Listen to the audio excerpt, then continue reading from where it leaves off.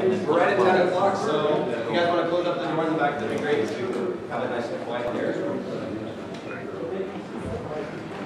Hopefully everyone's in the right spot. While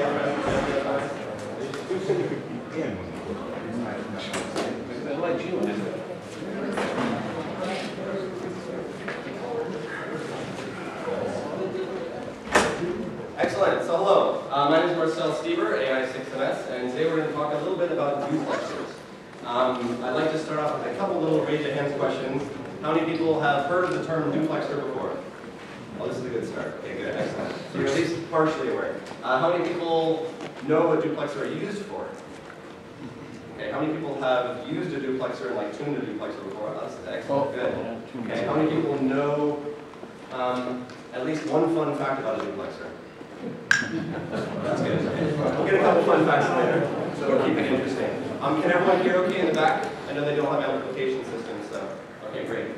All right, so a little bit about myself first. Um, my name is Marcel Stieber, AI6MS, licensed since 2008 as KMC Um, I have a master's in electrical engineering from Cal Poly San Luis Obispo, uh, concentration on art and communications. Uh, I was heavily involved in the Cal Poly Amateur Radio Club. How many Cal Poly Amateur Radio Club alumni Okay, good. Um, and I currently am trustee of W6TDM. That's the Cupertino ARES repeater located in downtown Cupertino. So if you have any issues with that, please do let me know. Um, I tune the duplexer for that. No. All right, so a little bit of an abstract for the forum. We're going to kind of go through everything here, uh, go through the basics of duplexers, and how we use them in amateur radio and in other commercial radio systems. Um, we'll explore the basic types of duplexers, um, how they actually operate, and then we'll, at the end we'll go through simple tuning of a band reject type duplexer or a notch duplexer. Um, so that's the easiest one to do with a demo. Uh, if you want to learn more about all this, there are also lots of YouTube videos, and we'll be posting this one online as well. Uh, I love putting this. This is a bidirectional QSO. Um, this is a conversation that we're having, so please do ask questions. Raise your hand, um, and we'll go ahead and address any questions you may have. Great. Excellent. Do we have to be five megs offset before between transmitters? Uh, you do not have to be 5 megahertz offset, sir. Just like. 5 megahertz is a lot in the audio. All right, so this is kind of the overview, what I'm going to go through, um, just to give you an idea of what we're going to cover. So going through duplexers, talking about them, how they're made, what, how they work, um, and then at the end we'll go through tuning, what equipment you need, um, kind of some of the tips and tricks of what you can and uh, can't do and what you shouldn't do when you're tuning duplexers that will cause problems with your test setup, um, and then we'll actually do a live demo. All right, so first off, a duplexer. The simplest explanation is a duplexer is a three-port device that allows simultaneous use of a single antenna for both transmit and receive. Hence the term duplex, you're both transmitting and receiving at the same time, versus simplex communication, you're doing each of these time independently, or time dependently of each other. Okay? Um, duplexers are standard repeater systems. This picture is taken up at one of the commercial radio sites on a mountaintop. Um, so there are a lot of repeaters, and as a result, a lot of um, duplexers for these repeaters. Uh, this isn't the only solution for transmitting and receiving simultaneously on a system. Um, pretty much you just need to isolate the two. So you can also just have two different antennas in two different locations. So a lot of large repeater sites will have a single receive antenna at the top of the tower, and then all the transmit antennas will be lower down. That separates them vertically and provides quite a bit of isolation in addition to some filtering that they'll have down below. Um, that's just some of the things that you can do for duplex modes. So why do we need a duplexer?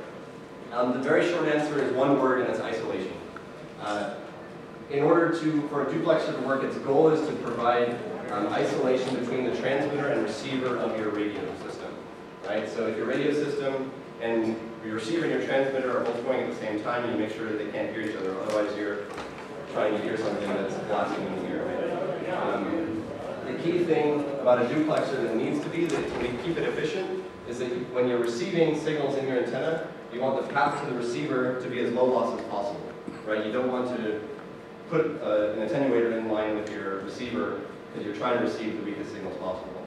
Same goes for the transmitter. When you're transmitting out the antenna, you don't want to lose power in your filtering system. You want to maximize the amount of power that you get out to your antenna, um, but you want to maintain that isolation between the transmitter and receiver. Kind of rule of thumb number you'll hear is around 80 dB, anywhere from 70 to 90. Um, amazing systems will have 100 dB plus.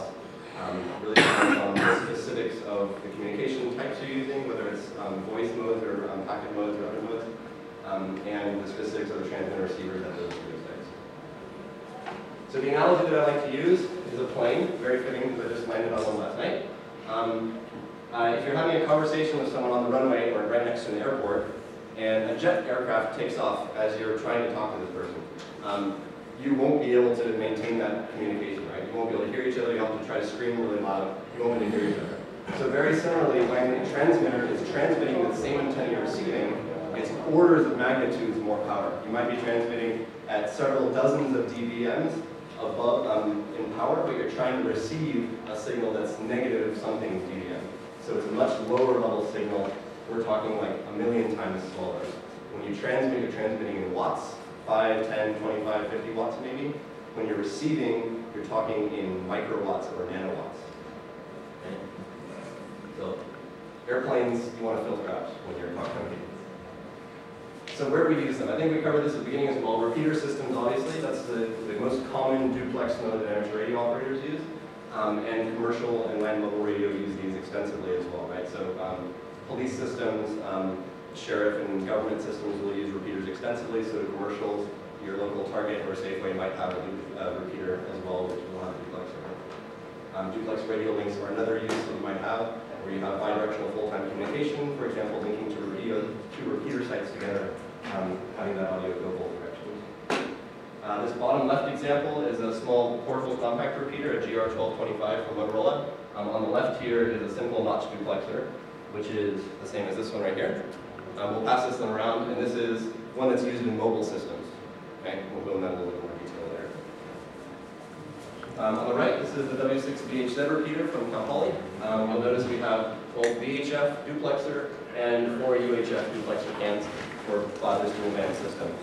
Um, I also point out there's a single um, notch filter cavity here that we use um, to help prevent interference from other systems. More details on that. Okay, so how do they work? So the basics um, of duplexers is they're a cavity resonant filter. Okay, so I like to go back to like a musical example, or if you think of woodwind instruments or anything, even a piano string has resonance within itself. In this case, cavity resonance is, imagine a metal box. Um, at, at any point on that metal box, you have a piece of metal, so it's a short circuit. A short circuit means you can't have any voltage potential there, which means that any energy in this cavity will be a maximum B field or maximum magnetic field at each end of the cavity when it's operating in its primary mode. In the center of this cavity, you would have the maximum electrical field, um, which is where your highest voltage potential would be.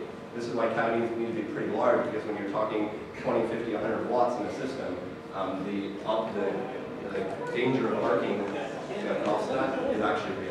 Um, in very large transmitter systems, like you go up to Sutro Tower, look at some of the high-power television transmitters that are in the megawatt range or kilowatt range, um, those need to have very large cavities. Sometimes they'll even put other gases in there to help prevent arcing from occurring. Okay, so applying that concept uh, similarly, this is kind of a, a rough drawing of the cross-section of a duplexer cavity. Okay, so this is a simple notch cavity, and uh, inside we'll have two ports here, and the ports will have magnetic coupling loops. So that's this loop right here. Um, that is the maximum magnetic field, hence the magnetic coupling, right? So you'll have a magnetic coupling input loop and an output loop on notch cavities. On band reject cavities, you'll have just a single loop. Uh, inside, we have a quarter wave resonator that's actually inside. That's what this knob controls. So there's a resonator inside this cavity that can change length. Um, the best analogy for this one is that you have a monopole antenna inside there, or that you have a coax stub. Okay, some of you might be familiar with coax stub filters.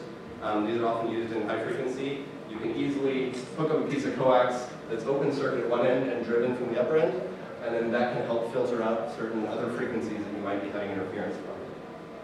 So if we relate that back to this case, this is the center conductor of the coax. The cavity on the outside is the shield of the coax, and then the length determines the frequency that it which it resonates at. In this case, you'll notice the center conductor is shorted to the seal shield, so it makes it a quarter wavelength resonator. You have a magnetic field here, but you actually have an open circuit at this end, so your maximum E field is at this end. There are also cavity resonators where this will actually short to this end, in which case its resonance frequency would be uh, lambda over 2, so it would be a half wavelength resonator instead of quarter, quarter wavelength resonator. Any questions so far? Cool. All right, so a quick aside. Um, this is something that's very important to talk about. Uh, duplexer versus diplexer. Um, you'll read 5,000 different uh, answers on various different forums. The best way, the best way to describe them, uh, a duplexer and a diplexer both have three ports. They're both three-port devices. Um, typically use in and output, but they're always bidirectional. Um, they do combine signals, so you're using them for combining different frequencies. Uh, a duplexer typically is used for in-band combining, so that means you'd be using it for combining signals that you want to transmit or receive, or receive two different signals on the same frequency band. So two meter frequencies, so 144 and 148, for example, would be an example of in-band combining. Cross-band combining would be used for diplexers. So that's typically if you're on a, if you have a dual band antenna in your car and you have two separate mobile radios, one for VHF and one for UHF, you have a diplexer. Diplexers usually use lumped element filters, which are a lot lower cost and a lot more compact, but don't have quite the same Q factor or ability to filter out sharp signals. Um, so they can't be used for in-band very well, but they do work very well for cross-band and they're very cheap. Um, you can get MFJ ones for like 45 $25. So, um, so typically duplexers would be used for duplex communications in-band. Diplexers could be used though, the example is a crossband repeater. So if you're using a crossband repeater, a diplexer would be an excellent choice if you have two separate antennas or two separate radios that are operating with this. Questions today?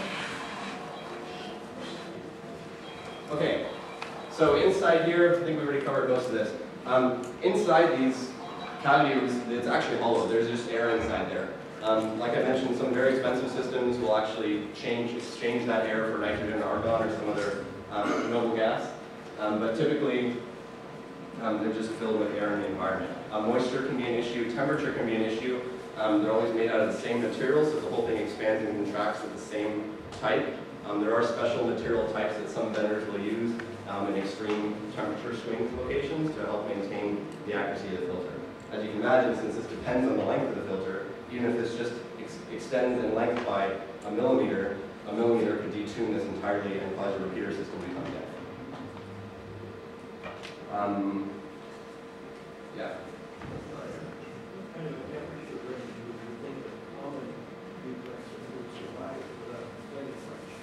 So common, the question was, what sort of temperature range would a common duplexer survive without complaining much? Um, and it's a very subjective answer, uh, depending on the specific materials. Uh, notch duplexers we've had in uh, pretty severe um, situations. We had some on a mountaintop in an unair conditioned trailer in the middle of the sun for a week or a long extended weekend. Um, and they were going from like 50 degrees at night up to easily 140 during the day. Um, and they were surprisingly spot on uh, still when we were using them. So it depends on the construction, depends on a lot of factors. I would not advise that for long-term operation. Um, that causes mechanical stress as a result. The joints are expanding and contracting, and there's motion. Um, the uh, corrosion can build up quite quickly as well. Typically, at the end of the resonator, there'll be a little inset tube that actually moves in and out um, to adjust the length with the tuning knob.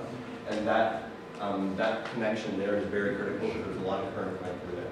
Um, and that could be a source of corrosion or arcing. Yes? Are they ever pressurized? Um, pressurized. Uh, typically in ham systems you won't see it. Um, cavity resonant filters or uh, waveguides will definitely be pressurized. Um, they'll use positive pressure dry air typically or positive pressure nitrogen systems. Um, Sutro is one example I used guys in there and seen that site as well. So they have a pretty extensive uh, water extraction system and then a gentle pressure. I think it's only a few psi just to maintain pressure so the water gets inside. There are a few seats up here as well if you'd like to come around. All right, so duplexer types. Um, we handed around, we're handing around the one, that's a notch type. Um, notch type duplexers are cheap, they're easy to use, they're small. Um, typically they're lower power. The reason I say lower power is because they don't isolate as much as a cavity filter would. So, um, sorry, as a, larger pass notch filter would. Duplexer, um, notch duplexers, uh, 70 dB or 80 dB is typically what they're rated at if you're at best. Um, I've seen, the highest one I've tuned is around 90 or 95 dB, but that's not very stable. Again, if your, your notch is too narrow, the shifting of temperature will cause it to immediately lose 10 or 20 dB and makes. So you're actually better off tuning these a little bit flat so that they um, have a little bit of temperature performance. In addition, since they're mobile or often being thrown around in the back of trucks, they will get vibrated and shake around. That will also change frequency as well.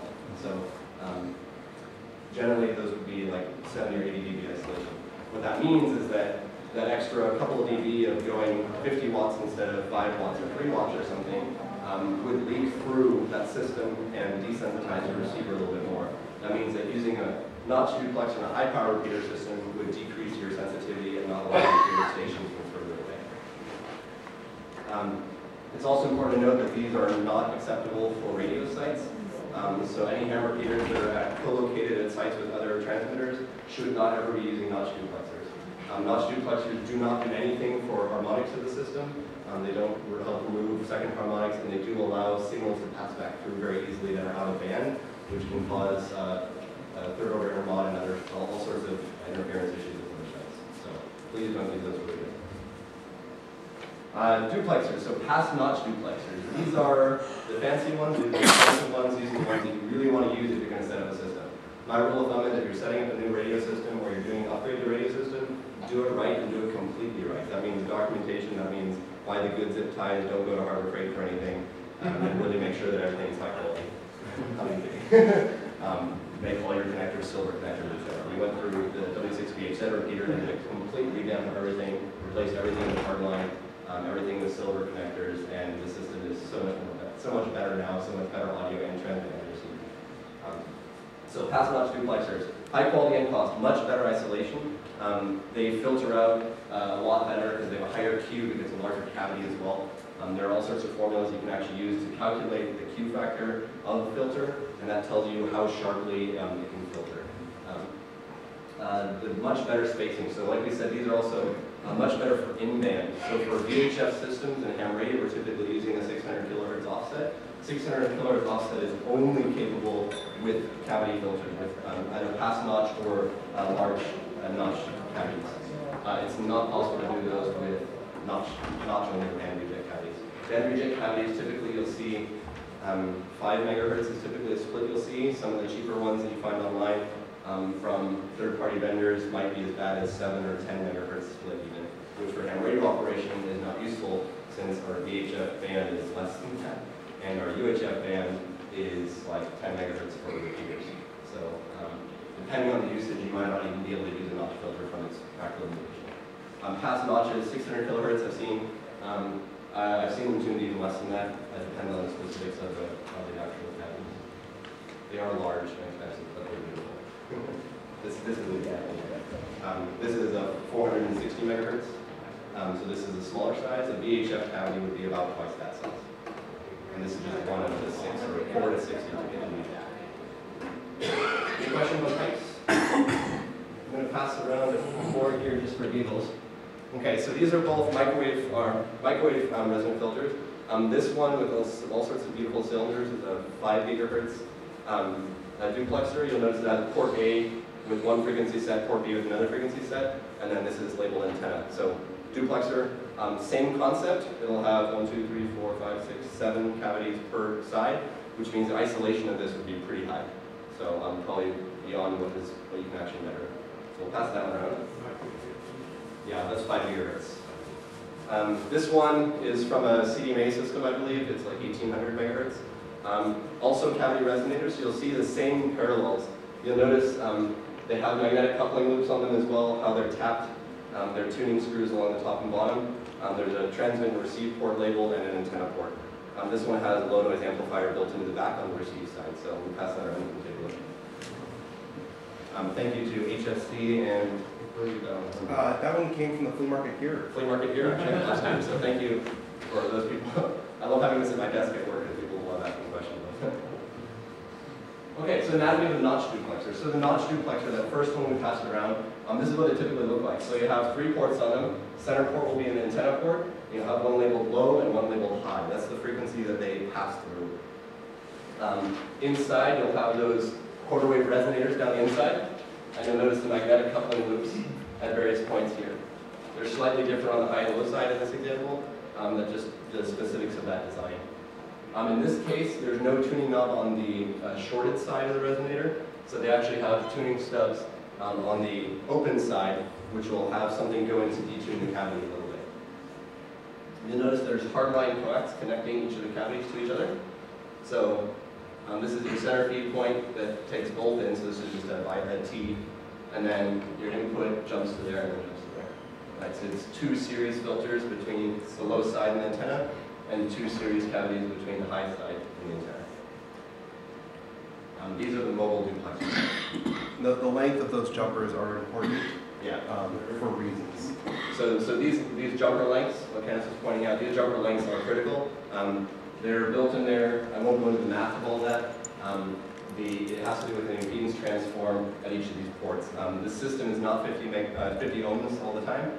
Um, it will change quite a bit. Um, the lengths of these will help tune the filter specifically and also limits how much out of band you can tune um, a cavity. Okay, a similar uh, type of notch filter is a helical resonant filter. So in this case, instead of having a single resonant um, structure down the center, you'll actually have a wrapped coil. So similarly in handling unloading coils, it's the same thing. The electrical length is much longer than the actual physical length, um, and this allows you to have a more compact filter.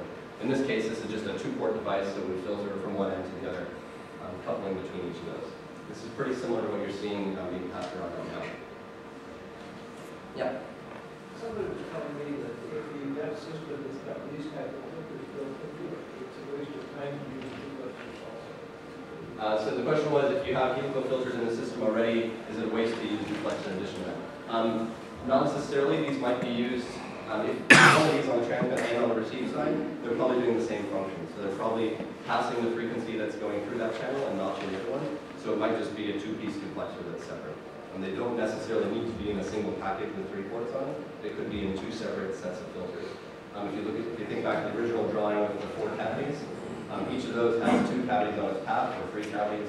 Um, I've seen one or two duplexes that has four cavities in series on its path, um, but then they're just connected or short together at the antenna side. So, did that answer your question? Yeah. Okay, so this is past cavities and past reject cavities. So the one on your left is a past cavity. So um, a band pass cavity, right? So this one will have just a single notch inside. Um, it has, sorry, has, has band pass cavity. So this one will allow the frequency through. It won't notch out a specific frequency. You notice there are two magnetic coupling loops at the top, and then a single adjusting knob that adjusts the length of the resonator on the inside. Um, in comparison to that, a pass reject cavity has only a single port, so you'd use a T connector on the top, um, as we saw in your earlier drawings, and a single coupling loop. That single coupling loop has a capacitor on the end of the loop that's going to the ground, the shield. Um, that capacitor is what um, adjusts your pass frequency. Okay, so you notice they're very similar construction. Um, you can easily tell just by looking at the top what type of filter it is. Um, pass reject cavities can also be used just as a notch only cavity, where you'll just pass the signal over and it'll just suck out that one frequency. Okay, so detail on the top. So this is the pass reject, the one on the right. So you notice um, you'll have the tuning shaft and the lock nut. This lock nut is critical to help ensure that that shaft is not rotated at all. When you're actually tuning these cavities, um, a sixteenth of a turn can make a difference. When you're tightening down that lock nut, just the action of tightening it down and settling in the threads a little bit will detune the filter a little bit. So you need to count, account for these as you're tuning and watch in real time what actually happens when you do that. Um, the actual uh, magnetic coupling loop is underneath here. You notice a single coax port, in this case N connectors, which are much better for high frequency operations, um, and then the T connector to allow the signal to pass through. This is the tuning capacitor, which will be inside, that takes that second half of the loop and attaches the ground to just the pass frequency. Any questions on the details of the top of the pass reject? I didn't bring one, sorry. What's the tuning capacitor? You have this it looks like. So this What tuning, is it into that? Yeah, the tuning capacitor will typically be um, just inside, so there's only a a nut that's coming at the top, um, and that's to adjust the passband. You'll use a a plastic or ceramic screwdriver to actually adjust that. Oh, okay. If you use a metal screwdriver, this goes for any RF filters, um, depending on the specific design of the filter, there's a chance that just touching it with a metal screwdriver will detune it as well, and not give you an accurate frequency. Yeah.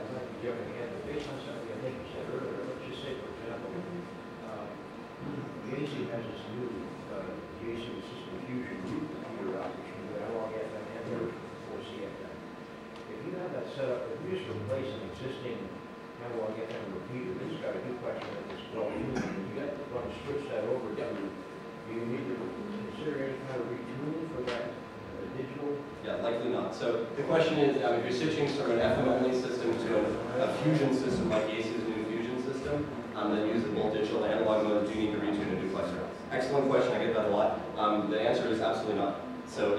the, the duplexer is tuned for a specific frequency, and only passes that frequency, it's mode independent. So no matter what mode goes through, this will still resonate at that same frequency and allow any signal that's at that frequency to go through. Packet, voice, digital, FM, SSB, whatever you want to do. Good question. Hey, uh, well, this raises this question, uh, do you have any control for the amount of bandwidth that the over Yes. filters has? Yeah, so the bandwidth of the filter, the question is, do you have any control over the bandwidth of the filter? Um, yes, depending on the filter and its Q factor as well, that tells you how sharply the edges come down, um, that'll change uh, the bandwidth of the filter. Additionally, the specifics of the coupling loop and the angle that that coupling loop is inside the cavity will change how wide of a bandwidth it'll take, but it will also change the insertion loss. So we'll demonstrate that hopefully on this guy.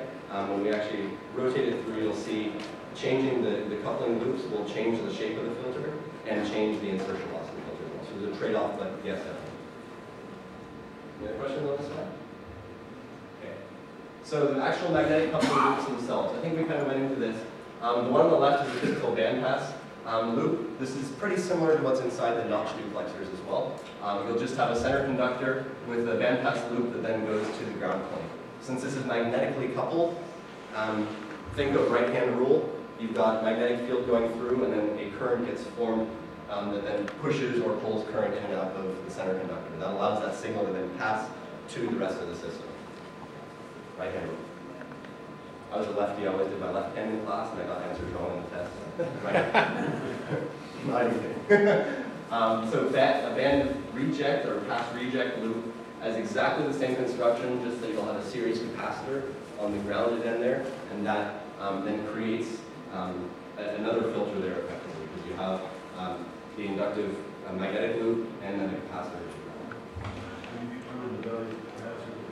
How do you determine the value of the capacitor goes there? Um, use what someone else has used. Um, there's math to explain it as well, but the easy answer is um, use existing designs and um, follow those for your frequency. If you're designing something completely new from scratch, you can go through the um, calculations to do that. Um, I try to avoid math in my talks, but you're welcome to talk about that afterwards.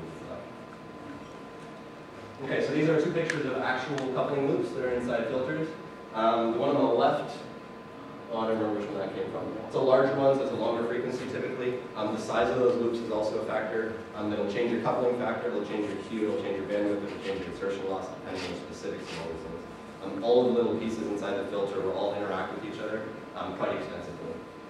Um, this one on the right is a higher frequency one. Um, I think that's from this filter.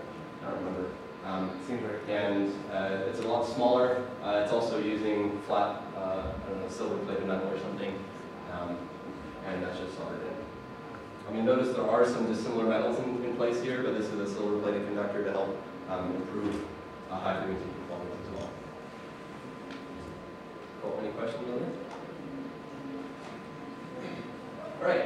So now the overview of tuning. This is me uh, tuning one of the uh, pass filters for the W6B Z repeater. Um, and we'll kind of go into some of the details now. Okay, so the basic concept of tuning.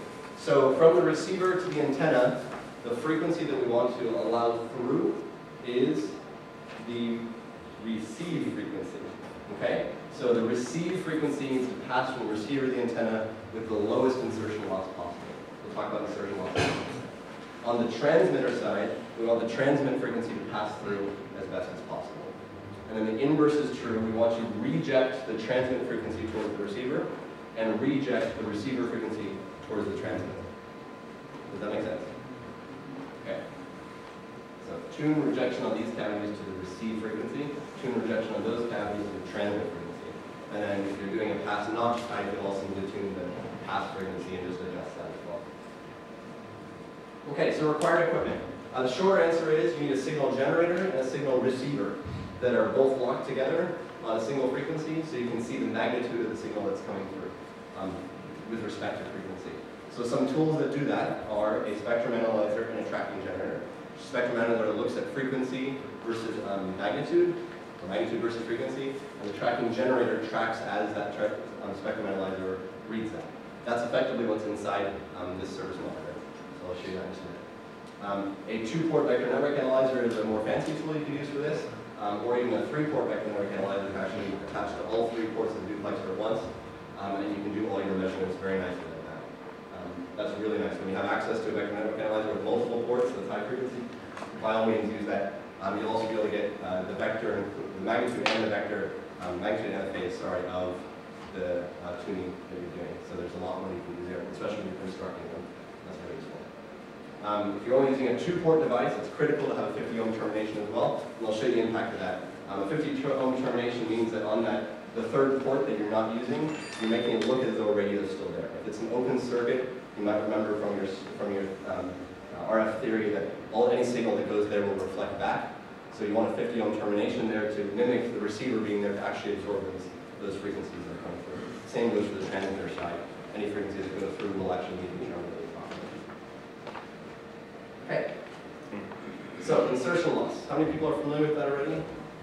Most of you. Okay, so insertion loss, or IL, is a term we use to determine how much a signal gets um, diminished or reduced um, as it goes through some device. Okay, so we use this typically, you've probably seen it for coax. So in coax, you'll see um, like the coax loss over a certain frequency. So um, LMR 400 at 100 megahertz over 100 feet will have, I don't know, two and a half dB of loss. Okay, so that two and a half dB is actually insertion loss. So that's the amount of uh, signal that you're losing through that cable just through the fact that it's going through that. Um, when you drive down the freeway, you have air resistance that's pushing against you. That's kind of the best parallel I can think. It's how much it slows you down. Ah, excellent question. LMR 100, should you use it for duplexer or repeater systems? Short answer, no. Um, it has multiple different types of metal. It has a foil shield and a braided um, shield. So it's a dual shield, which is awesome and great and low loss. Um, but uh, bimetallic uh, interactions can cause your uh, intermod to be very bad, so not that interference issue. Uh, it's one of the reasons why we changed all the, the cables in our system to hardline or uh, dual silver shielded. Um, I forget the. 213? Two, only two thirteen is one option, um, and then there's the nicer one, two fourteen, I think, is a dual shield. So, Yeah, we went down the catalog and picked the second most expensive one.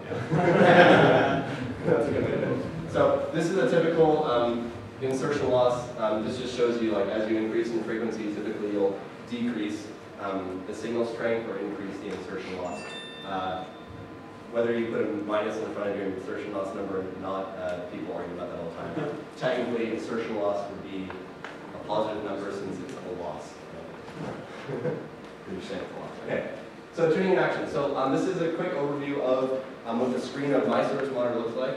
Um, so the important things here, we'll have a reference marker right here with the frequency and the actual level, so the decibel level with respect to um, the reference plane that we've set here. Um, and then we'll have a delta marker. So this one will be set to the other frequency. Um, so in this, in this case, the pass or the notch frequency. So you have those two. And then it's a, it's a delta. It's limitation. Using another system, you'll just put two markers and you'll be able to see the absolute values of each of them. Um, also on the, the display will be a center frequency and, um, and a display width. Um, so we'll look at that as well. Okay, so first off, if we look at a duplexer, we're going to start with tuning the low pass, or in this case, the high notch. Okay, so in order to do this, we'll be on our duplexer. The red cable I'm using as my transmit signal, and I like to put that into the antenna ports. In this case, it's the duplex out port on the service monitor. That's where you send the tracking generator signal to.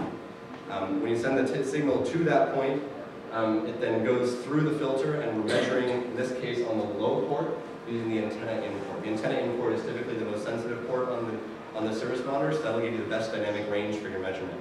If you use the like RF in out port, which is a high power port designed to take 50 or 100 watts sometimes, um, it won't be as sensitive, so you'll you'll get kind of noise at the bottom, and you won't get a good accurate measurement of how well it's actually filtered.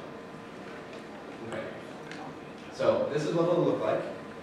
This all works out. And... Okay. Cool. So. So this is, uh, we're looking at the notch now. The center frequency here is 170 megahertz. This is a commercial um, frequency duplexer because they're cheap and easy to find online.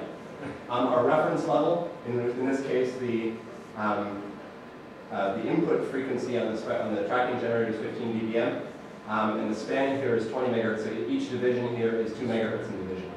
Um, I mean, that's the stuff that's it.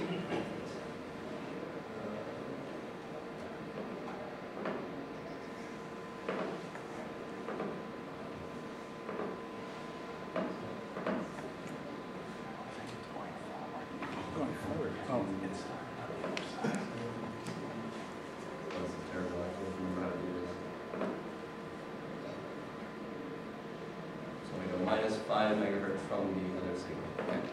Okay. Okay. User interface on some systems is much worse than others. Okay, so we have a reference marker now that's at 165 megahertz, that's on the right over here. And then we have the spectrum analyzer um, reference marker that's in the center, um, which is slided off to the side of the screen. You'll excuse the old technology. Um, and that one's at 170 megahertz. So in changing the tuning knobs on the low pass side now, if I unscrew it, you see how one of the notches is moving up in frequency. When I unscrew the other one, I can slide that notch up in frequency, and then the depth of the notch drops. You'll notice if I keep going and line them directly on top of each other, right about here, that's the maximum depth. So in this case, that's like minus 65 dB or so on the mark. It's off the marker now, right? So, um, in this case, that's very deep, but it's also a very narrow trough. So that limitation means that if there's any shift in frequency at all, if you just bang the thing, it'll shift slightly in, frequency. So typically for notch duplexers, I'll actually detune one of them a little bit, and you notice how that becomes a little bit wider. So that's now maybe a half megahertz almost, or maybe 400 kilohertz wide, versus um, being all the way down here, it might only be 100 kilohertz or 200 kilohertz wide. Okay? So that's the, that notch. So let's bring it back down to 70. We'll bring both of those down. I'm just using my fingers in this case, but you'll actually want to use uh, plastic or a ceramic screwdriver. Right? So we'll bring that right down here. So in this case, our reference marker, we're saying it's, um, oh, it's on hold, sorry. There we go. So it's at uh, minus 50, mid 50s. Um, that number is going to move, and of course, the lower it gets, it's going to get further out of the dynamic, dynamic range of the system as well. Um, so that could be a challenge. Um, one thing I didn't do was normalize this, so let's do that real quick.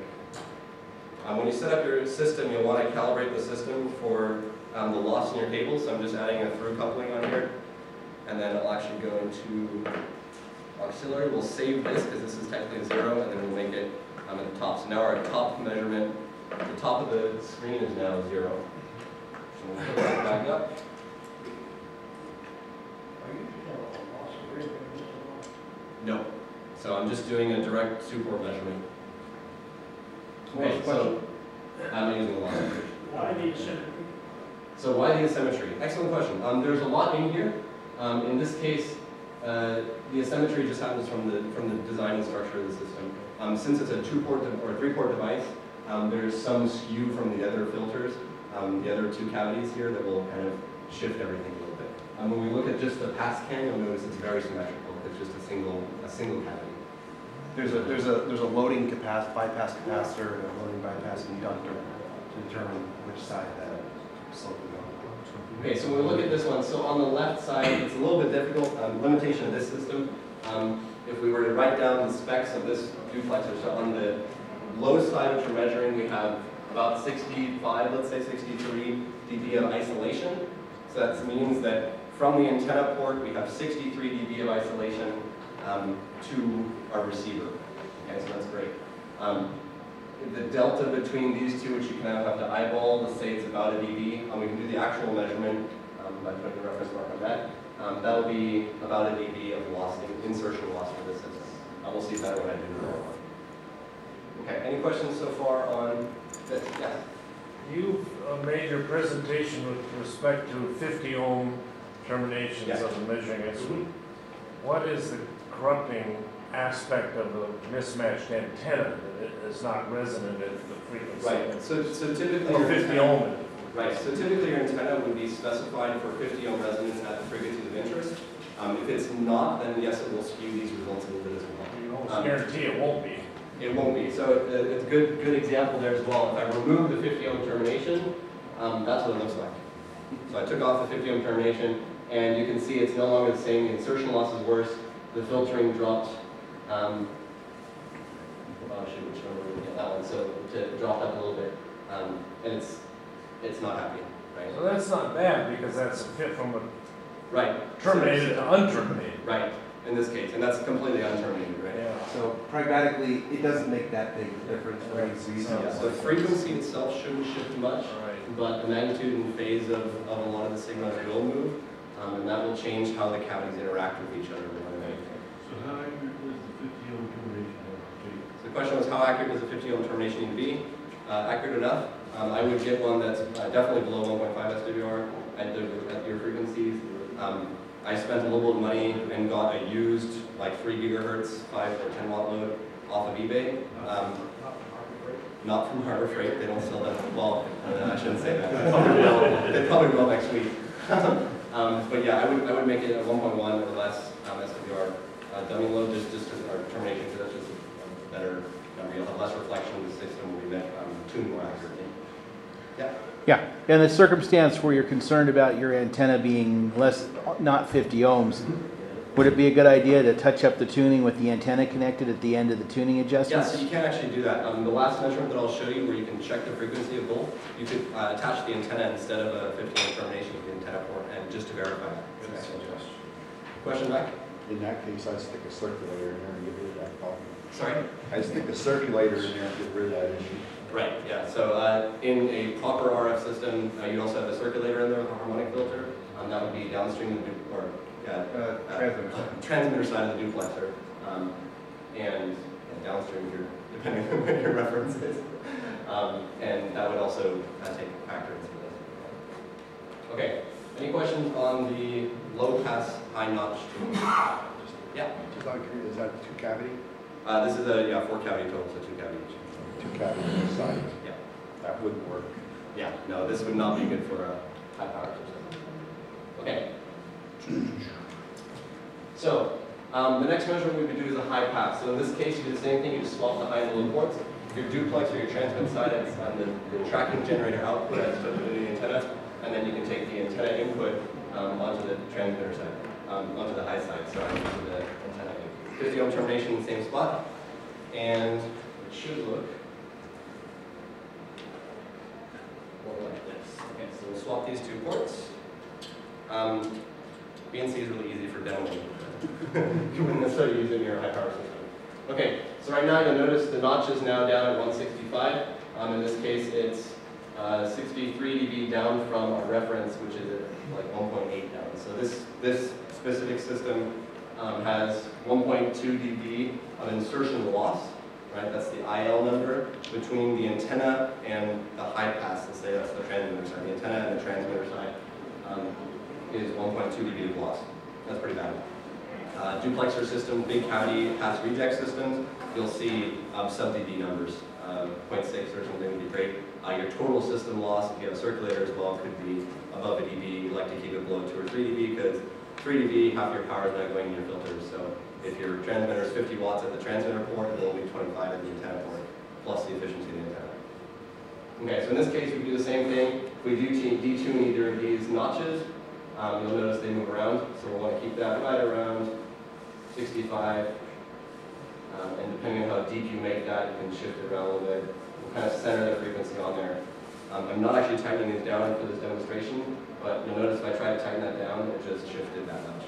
So we'll want to pull it back out, get it on frequency, and then get the numbers. So minus 1.2, and then the number here, let's say it's 63, um, below 1.2, right? So it's about 62 dB of isolation from the antenna port to the high pass port. Pretty straightforward. Um, just for giggles, I'll show you a, a wider bandwidth picture here. And Something to emph- emph- emphasize that has screwed me up before, um, it's an iterative process. You want to go back and forth, tune in one and the other and go back. Because like, uh, if you, if you look at it and you try and tune one of them up, and you then tune the other two cavities, it's gonna change the tuning of the first two. So it's a We'll full show that on system, the you next gotta, slide as well. you. Um, this is a wider bandwidth view, so this is a 100 megahertz view. You notice this is that notch, that low notch at 165, the high pass at 170. And in this case, this filter actually does filter out some of the higher frequencies pretty well. So our second harmonic isn't quite on here, but if we went out, we might actually be doing some filtering. Um, but yeah, some interesting behavior you'll see here. So that one's just for a good go back down. Okay, so the last one, uh, last step I want to show you is, okay, double checking the notch frequency. So this is a little trick that I learned um, that you can do at the end to verify the frequencies that you tune the final thing at. Um, it's not, it's a, it's a kind of a tricky, tricky measurement, but when you get your head around it, it makes sense. You put a 50 ohm termination on the antenna port, you're actually measuring from the low to the high pass, okay? Um, or the high to low. Um, they're pretty arbitrary. And you'll see something like this. So I'm going to move that. That's our noise floor in this case. So anything below this is not an accurate measurement, or even close to it. Okay, so this now has both notches, right? If you think about it, you're going through two sets of notch filters, which means you won't have either pass frequency, because uh, each pass frequency is notched in the other two cavities, right? So in this case, you can verify that they didn't shift. Um, if you detune one, so if we detune, let's say, the low side, um, in this case, the high side is actually pretty stable, but you can see it's shifted, it's changed its shape a little bit. So if we bring that one back in, um, it flattens out just a little bit. Right? So um, that'll change. It's a good quick double check. If you do the math between these two, so um, between both, so minus 65 and then do minus like 67, by adding those two numbers, those two together, you be your isolation through both of them. Right? So the total, but uh, the actual isolation between them is only minus 65 because each is passing the other one, right? So that should work. Any questions on this one? Move along a little bit. Try to get it. Okay. Cool, so that's kind of that trick. Uh, quick do's and don'ts. Uh, do read the user manual of equipment. You don't want to blow anything up. Uh, make sure you hook up the right ports, you have the right settings. Um, in my case, you have to set specifically which port you want to send the tracking generator to and which one you want the spectrum analyzer to receive from. So you want to change those. Um, do use the right ports. Do attach a video termination to unused port. Practice. I'll get to that the next slide. Um, and do a final test of the duplexer under load. So this is really important to ask, answer that question as well for that final system setup. Um, you want to do a measurement on your final system to make sure everything's as you expected. If you measure 1.2 loss, 1.2 dB of loss from your transmitter to your antenna port, you should see 1.2 dB less power when you measure the power with the wattmeter at your transmitter port and when you measure the power at the antenna port. If you're not seeing that 1.2 dB of loss, or you're seeing way more than that, you might have a problem. Case study, the black duplexer, notch duplexer is being passed around. Where is that? I think it's already in the back of the front. Oh, all the way up here, right? Okay. So this notch duplexer, you might have noticed there was a little kind of weird paint missing from one of the cables slide. So this thing tuned up beautifully on a duplex, on a, on a spectrum analyzer. We got both frequencies right on line. When we started putting power through it, we were getting 3 to 6 dB of loss, I think. Uh, four dB of. 4 dB of yeah, loss. There's four dB of power dissipation. Dissipation into here. So if you're running a 50 watt transmitter in here, that means this thing is a 25 watt heater. Okay, so um, yeah, make sure you check that load. And that was a really great thing that we did. Once we assembled the system, we had checked the transmitter itself, saw that the transmitter was putting out, I don't know, 50 watts or 48 watts. And then once we checked on the other side of the duplexer and we transmitted, we were only seeing like 20 watts. So that's a big problem. Um, check it under load. And that answers that question too for that whole system. Once everything's plugged in and hooked up together, um, check from your antenna. You can do the same thing. You can send a signal in when you disable your transmitter. You can hook up your tracking generator to the antenna port of your repeater system and actually send in the receive frequency and see what the receive threshold is through one of your filters. That'll help make sure that the system is performing as you expected. Okay. Um, so we'll try to do a demo of the pass scan real quick, but kind of what's next, uh, go buy stuff. I always love encouraging people to buy used test equipment.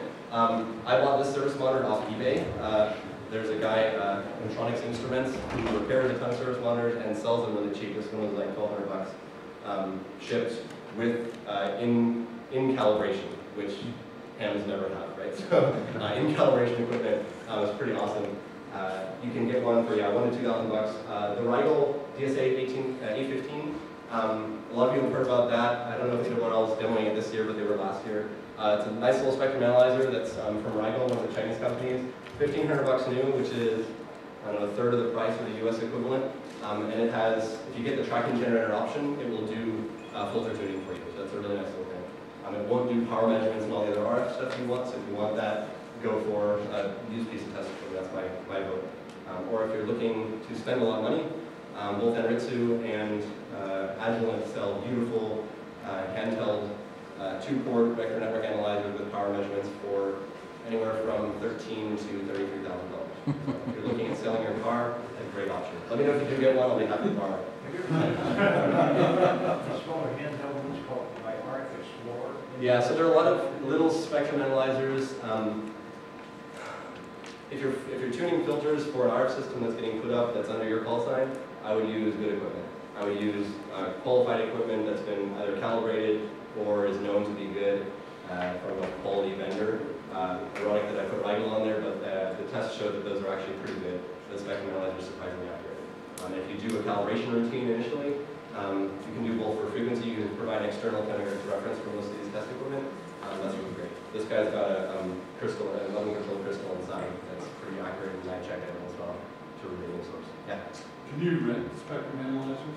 Can you rent spectrum analyzers? What was the answer to that? You can, but it's almost never worth it. Yeah, if you rent it from one of the big companies, it's quite not worth it. They'll be like several hundred dollars a day. Um, Yeah, I mean, the- the last time I looked, like current one, like four fifty, five hundred per day. There you go. Uh, So 450 pretty much, by the time you're done, you might as well buy. So buying a used one is great. Uh, the E6380 is a great example. Um, I also have the HP 8920 uh, A or B. Um, that's the smaller version, but same series of this uh, piece of test equipment from HP. Um, Motorola makes a ton of service monitors. Uh, the R2000, R2001, um, those are great service monitors as well. Um, they're useful. Um, and then to play with something, either build your own duplexer or you can get a cheap, sometimes broken, sometimes slightly janky looking duplexer um, off eBay. Um, I got my little VHF one from HSC. I found it in one of their bins for 15 bucks. Um, and that was worth it for having as a nice demo piece and to show people. So um, highly recommend that. Let's try to do pass real quick. Go ahead. Uh, service, service monitors are one of those great things for clubs to have. Um, I went the strategy of, I, I have a buddy that has two of them and I bought- bring him beer in exchange for tuning duplexers, but it, it's one of those good things to kind of have in your community. Yeah. So a couple of you jump in and I'll put in 100 bucks, kind of give you one for spectrum analyzer that you can use between each clip. Okay, so we're now at a totally different frequency, which is why this is showing all sorts of junk. Find it. There we go. Ah, good.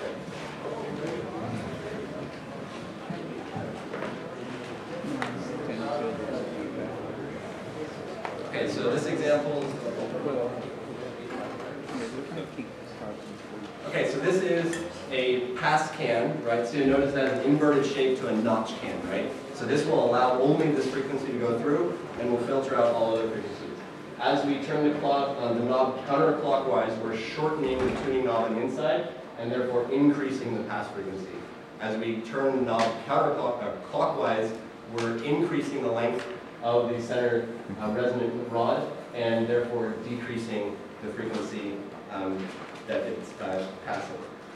If I release the screws on the filter, so you guys can see this, um, if we turn the magnetic coupling loop, you'll notice how we can increase or decrease um, the bandwidth. As it gets sharper, now that insertion loss is like 20 dB, right? So that's pretty bad. Um, that's also because it's wiggling around a little bit. So if you get it in there real well, and then turn it, you can get it all the way up. We're now at one and a half dB insertion loss. Um, you can get that even lower, 1.2, right? As it's getting wider, the insertion loss is, is decreasing, right? And as you loop it all the way back around, it'll start increasing quite dramatically, but your 3 dB bandwidth just decreased as well. The 3 dB bandwidth is um, at half power point, the frequencies at which uh, the signal's at half the strength that it is when you pass through the center. Cool, any questions on that? So this is, this in combination with a notch will be what a band reject filter will look like, a pass reject filter. Um, it will have both a notch, like on one side or the other, and then a pass frequency that will adjust with that capacitor.